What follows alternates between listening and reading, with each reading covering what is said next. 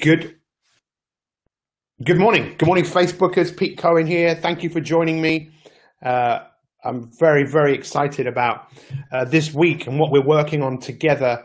A community of people all around the world who are facing up to a few things. You know, I think the more we face up to a few things, the more it gives us power. And uh, this is day two. This is emotional first aid. This is emotional hygiene. This is emotional stamina. And uh, just bear with me. We have some serious internet challenges going on here this morning, uh, which we do love a challenge, right? Who likes a challenge? Anyone like a challenge here? We all like a challenge, uh, but our internet is not working. So I'm actually broadcasting via uh, my phone that is over here, going into my computer here. And uh, the internet hasn't worked since since I woke up this morning at 3.30 this morning. Um, it's not, it wasn't working. So I, I tried to make everything work uh, because we like things to work, right? Who, who likes things to work? Who likes, I got a feeling we're going to have a lot of people joining us this morning because this is a subject which so many people are interested in. This whole thing of emotional uh, stamina. People talk about it. What's that book called? Emotional intelligence. You know, where intelligence is is very overrated. Most of you know this. Intelligence. People know all about emotional intelligence, but um, or a lot of people do, but it doesn't necessarily mean they do anything about it. And you don't need to be intelligent in order to change your life. You need willpower.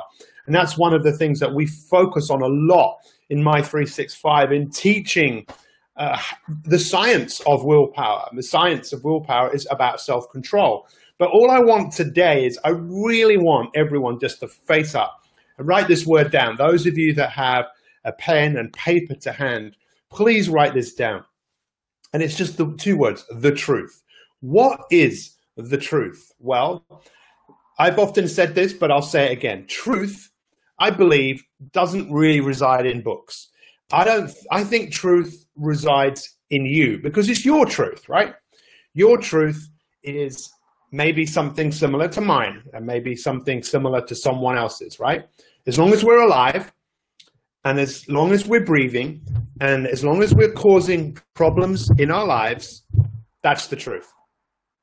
Or we're experiencing problems. Is this something that you would agree with? Please share this because this is but if you thought of it like this, that someone didn't know anything about first aid, um, they would need to know about first aid, right? So they'd know what to do if they cut themselves. They'd know what to do if someone was unconscious, how to revive them. You see, we know a lot about first aid.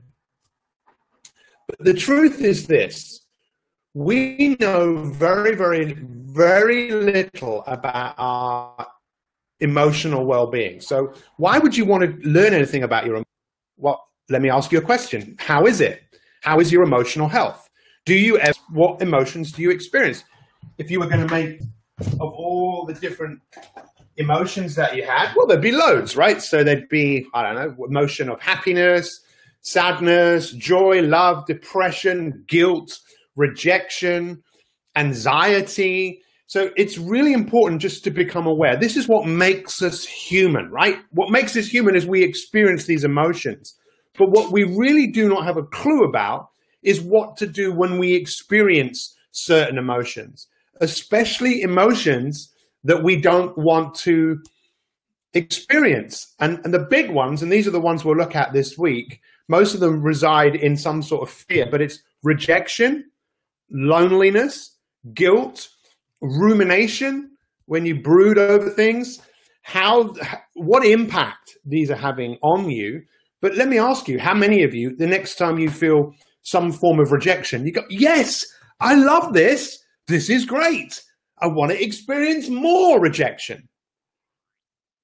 I would have thought the answer is no. I don't. I don't want to do that. But what we do is we we don't talk about it. We we don't go into the the first aid cabinet of uh, the medicine cabinet cabinet for emotional first aid, we we don't really do anything about it. We do the best that we can, which in most cases is nonsense. It's rubbish. So what do you do if you cut yourself? What do most people do? Well, a good thing to do, believe it or not, is uh, you get a plaster, right? you get a plaster and you get that plaster and you put it on the wound and there you go. There you go. You've got a cut to stop the bleeding. If it's really, really, really deep, what do you do? Well, maybe you'd put another plaster on it. You know, you never know. But uh, if it got really, really, really deep, what would you do? Well, you'd probably have to go uh, to accident and emergency, and maybe they would put some some stitches on it, and there you go. And it would your body is amazing. It would uh, it would heal itself. Maybe maybe you have a headache, you know, and uh, maybe you, you take something for your headache. You know, you pop some pills. You just pop pills, and your headache goes. And voila. Now, in, in most cases, with our physical health, we want someone to make it better for us, don't we? In many cases, don't we? Doctor, I'm not feeling well. Here's a prescription. There you go. Take the prescription, blah, blah, blah, and you will get better. And in many cases, those things are great.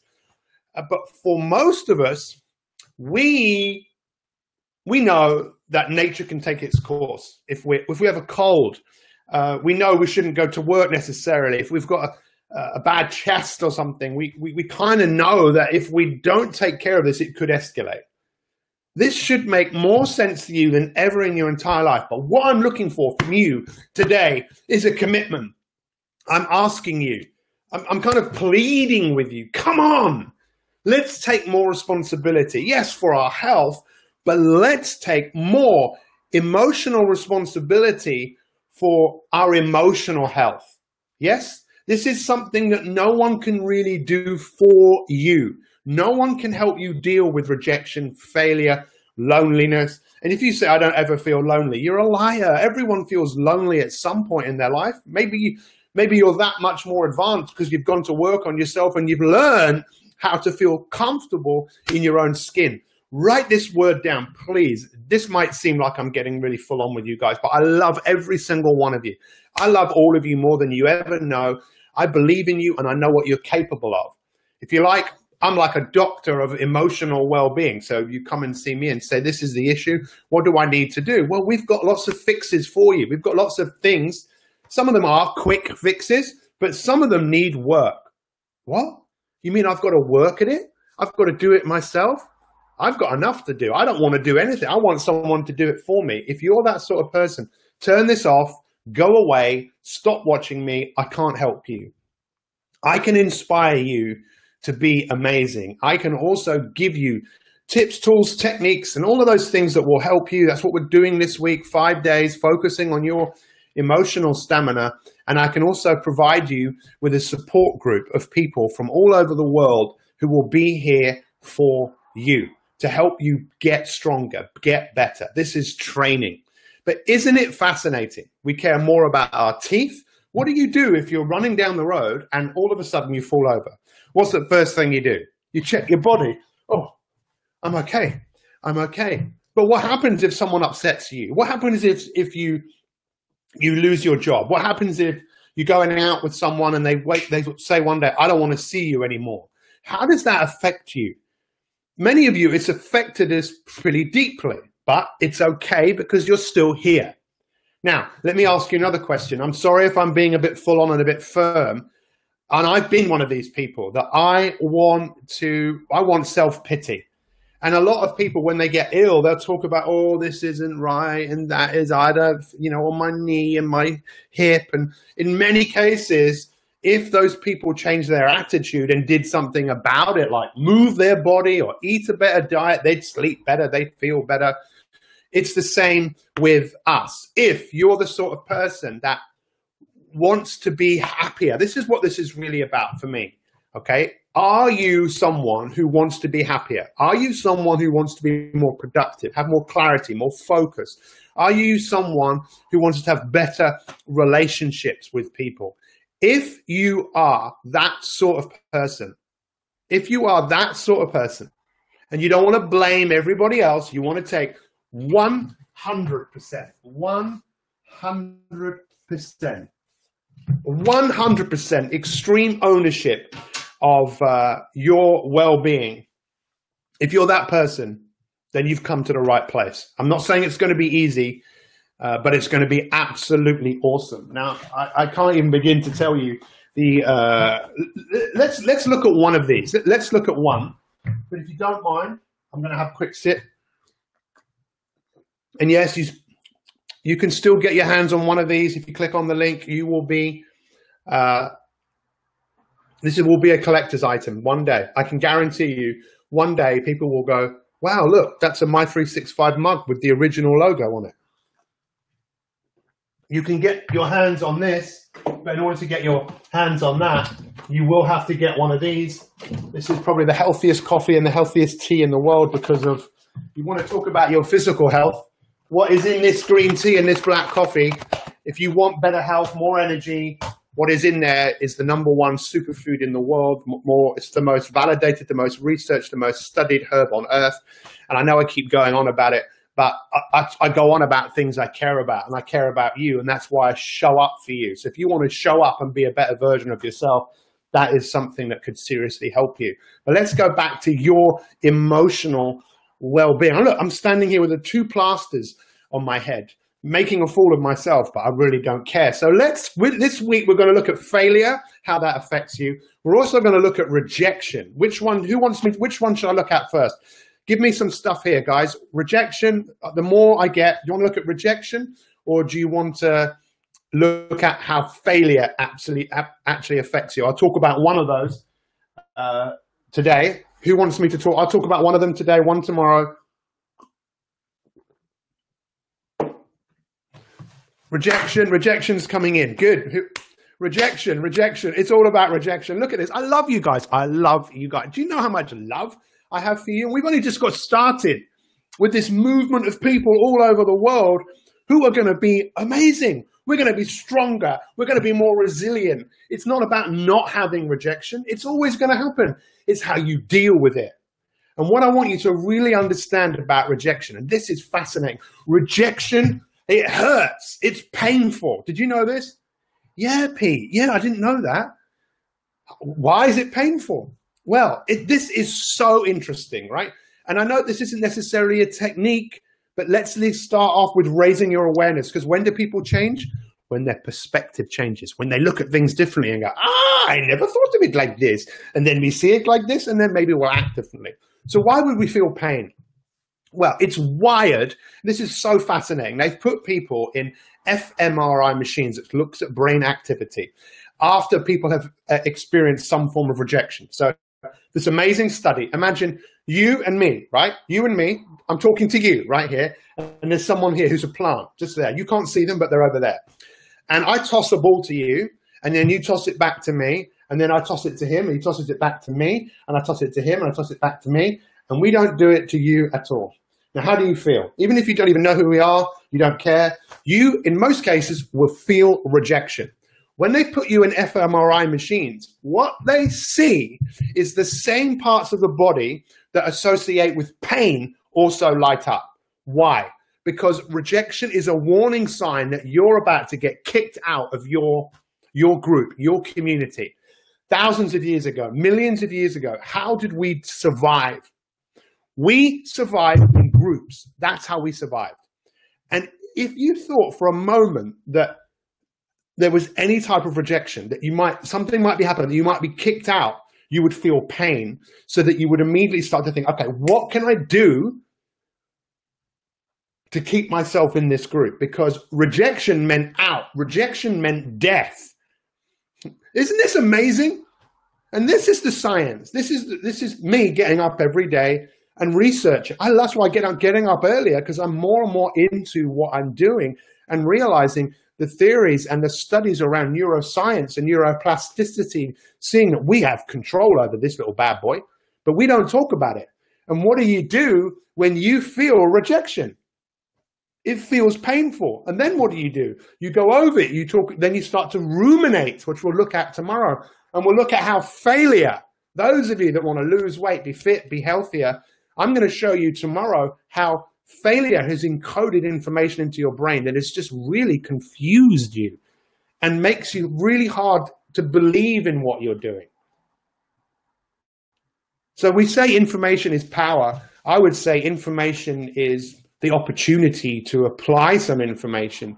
So how many times in your life have you faced rejection? So the next time, you know, I don't know, you're trying to present something, an opportunity, sell something to someone, or someone turns you down for a job and it hurts you, recognize it, write it down and say, this is a real positive step to label your rejection. I'm feeling rejected. There's some rejection there. And to realize you are more than rejection.